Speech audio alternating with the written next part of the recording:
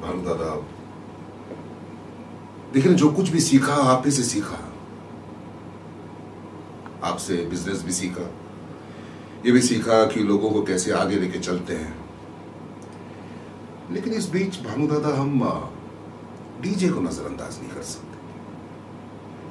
देखिए, आपने सिखाया था मुझे कि पुराने पेड़ जब गिरते हैं, तब नए पेड़ आते हैं, उगते हैं।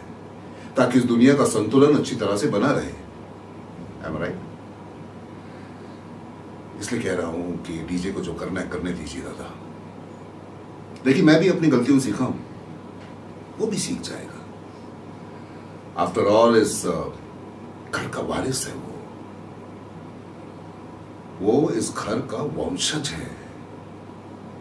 और आपने और एक बार सिखाई थी मुझे। कि अगर घोड़े की लगाम ज़्यादा खींच लो तो आगे बढ़ने से रुक जाता है। बस यही एक रिक्वेस्ट है आपसे कि उसे गाइड कीजिए। और उसको करने दीजिए, उसको जो फैसला करना है। देखिए, आगे जाके बहुत फ़ायदा करेगा। ट्रस्ट मी जी दादा।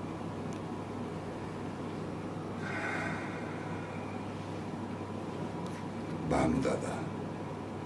सॉरी बेचारे दादा लगाम तो आपके हाथ में आ गई है। रकाब में जिस दिन मेरा पैर आया ना, एक एड़ में घोड़ा रेस जीत जाएगा। And I promise you that